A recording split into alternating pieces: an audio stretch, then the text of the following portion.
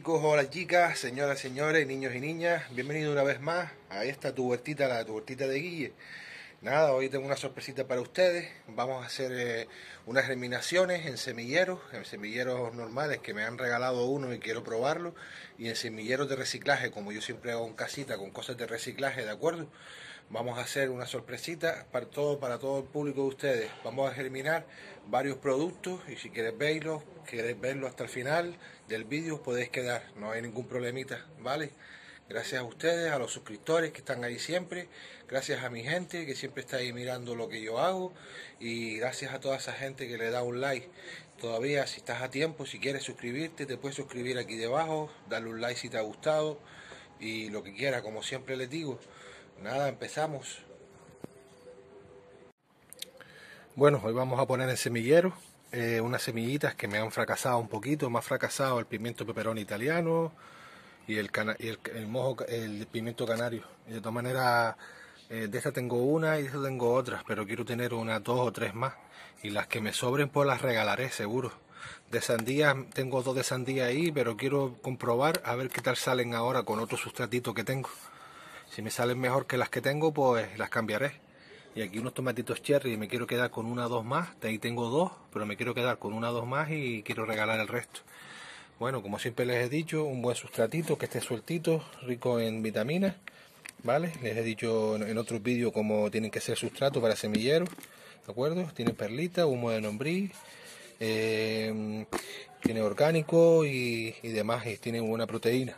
De acuerdo, vamos a, sembrar hoy pimienta picona aquí en este semillero. Vamos a, hacer sandía por aquí. Aquí pimiento peperón italiano.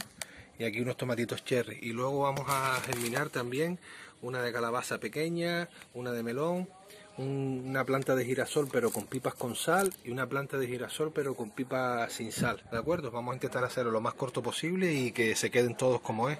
Yo como ya yo tengo los semilleros preparados para cortar un poquito el vídeo, y yo antes de poner la semilla pues le doy un reguito voy a darle un buen riego. Siempre. De acuerdo es importante darle un buen riego luego les explico el por qué. Porque luego cuando pongamos la semilla le vamos a dar con un fumigador para que para que no, no se muevan mucho las semillas de acuerdo vamos a hacer esto y luego vamos al siguiente paso.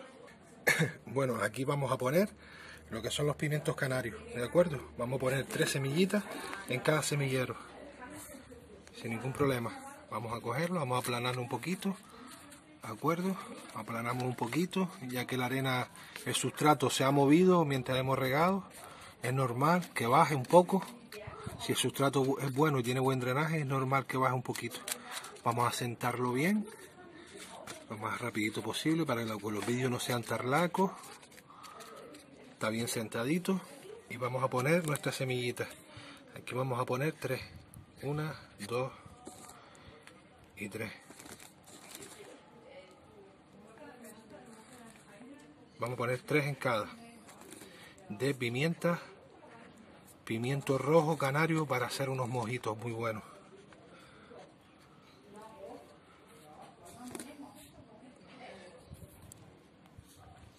Vamos con la sandía y la sandía vamos a poner una semillita en cada semillero. Ya con eso tengo suficiente. Sé que van a salir todas porque me salieron la otra vez y yo con una sola suficiente en cada semillero. Y luego miraré cuáles son las mejores y el resto voy a regalarlas. Voy a hacer un regalito. De acuerdo vamos a hacer ahora el pimiento pimiento peperón italiano. Vamos a poner tres en cada semillero.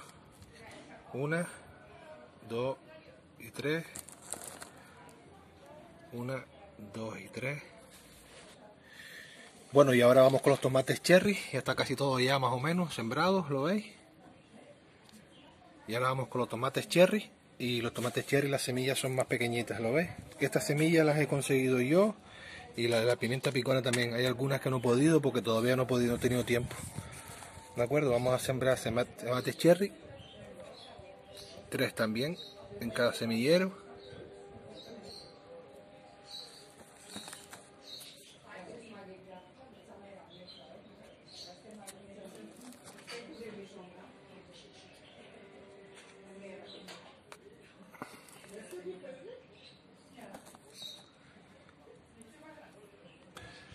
Bueno, este semillero me lo regaló un amigo y estoy probando a ver qué tal sale todo aquí. Y vamos a empezar a echar el sustratito. Siempre como les digo, el sustratito es polvoreado por encima. No echar mucho porque como son germinaciones, las germinaciones cuestan en salir si le echas mucho sustratito. Echamos un poquitito. Un poquito por aquí. Otro poquitito por allí. Y luego asentamos bien. Asentamos bien poquito más. Asentamos bien, bien asentaditos, pero no apretamos mucho, ¿de acuerdo? Vamos a sentar bien en lo que es repartir bien el sustratito que hemos echado, espolvoreado por encima, pero no los callamos mucho. Bueno, ya he terminado ya de taparlos todos, todos tapaditos, depende de la semilla que plantemos depende de la cantidad de espolvoración que echamos. ¿Vale? A las de sandía se le echa un centímetro y a las más pequeñas, como la tomate, cherry y pimiento, se le echa medio centímetro. Suavecito, repartimos bien. ¿Vale? Y ahora, ¿por qué le eché agua al principio? Porque ahora le voy a echar un riego suave.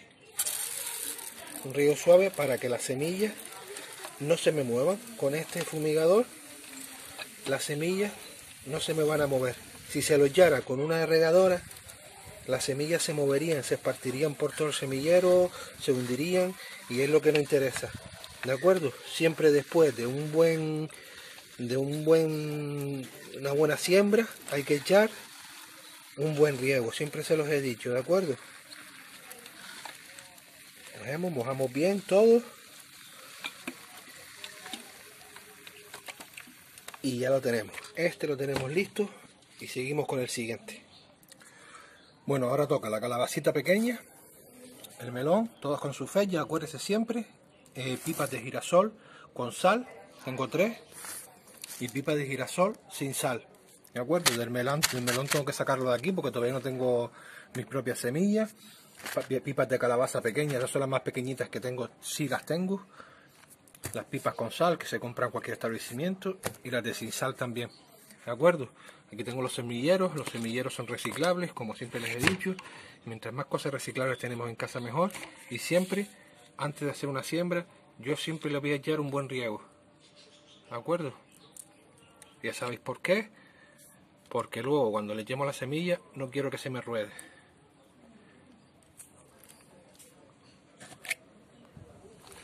Bueno, yo he terminado de regarlas todas. Como veis están todas húmedas. ¿De acuerdo? Siempre es muy importante echarle un buen riego para luego echarle otra terminación del riego cuando te pongamos la semilla. Empezamos con las pipas de calabaza, las vamos a colocar así de esta manera. En el centro si es preciso. ¿Por qué? Porque quiero que me salga en el centro. Para cuando lo haga un trasplante, las tengo en el centro, sin problema. Vale, seguimos con el melón. En el centro. Acostamos así acostarla, no enterrarla, ¿eh? Otro meloncito por aquí. Vamos a ver allí, melón. Las pipas son diferentes. Las pipas hay que enterrarlas. Vamos a enterrarlas. Estas son con sal. A esta altura. Enterramos otra. Y enterramos la otra. Y ahora las que no tienen sal una, otra y otra. ¿Por qué he plantado con sal y sin sal? Porque quiero comprobar una cosa, a ver cuál funciona más que otra, ¿sí? Y ahora, como siempre les he dicho, echamos un buen sustratito polvoreado. Siempre es polvoreado. Tampoco llenar tanto el vaso, porque si no nos va a costar que germine nuestra semilla polvoreado siempre, ¿de acuerdo? Bueno, ya yo tengo ya todo ya preparado para echarle el último rieguito y tiene siempre un buen rieguito por arriba, ¿de acuerdo? Están todas las semillitas debajo y como les he dicho siempre, después de plantar una semilla, un buen riego y hay que estar vigilándolo día sí, día también para que no le falte la agüita, para que el sustrato no se seque. Si, se seca rápido, nos va a costar un poquito que germine. Hay que tenerlo humedecido. Un buen sitio para ponerlo es en la ventana de una cocina, donde le dé un poquito el sol, pero que no le dé el sol de frente, ni de lleno, ¿vale? Podemos tener un sitio que esté calentito y con bastante humedad, y así se nos mantiene siempre el sustrato bien humedecido. Ya yo tengo ya, esta ha sido la sorpresita de hoy que les quería mostrar. Un pupurrí de siembra, todo en semillero, menos el otro que los tengo en semilleros que me han regalado, tengo ahí otras cositas plantadas, ¿de acuerdo? Esto ha sido todo por hoy, espero que les haya gustado, que les haya venido bien. Y nada más, aquí tengo, ya les iré mostrando cómo va saliendo lo del tema de girasol, que, me sale primero, lo de con sal o sin sal. Les mostraré el melón y les mostraré la calabaza pequeña. Muchas gracias a todos. Bueno mi gente, si les ha gustado este vídeo, como les he dicho, le podéis dar un like, compártelo con los demás para que puedan aprender a, sembrar o a germinar. No, todas, no todo el mundo sabe. Eh, también podéis suscribirte a los que no están suscritos a este canal, La Huertita de Guille. Y nada más, les voy a dar las gracias en varios idiomas porque hay gente que me ve desde el extranjero y de partes del mundo. Les voy a dar las gracias en, en varios idiomas y aquí tienen un par de ellas. Gracias, thank you. Danke, merci, obrigado, sogran. Gracias a todos, gracias por estar ahí. Y nada, la huertita de Guille cada día más, cada día somos más en la familia y espero que les guste todo lo que estamos haciendo, ¿de acuerdo? Gracias a todos, muy amables, gracias por estar ahí. Vamos esta semanita, hacemos un directo.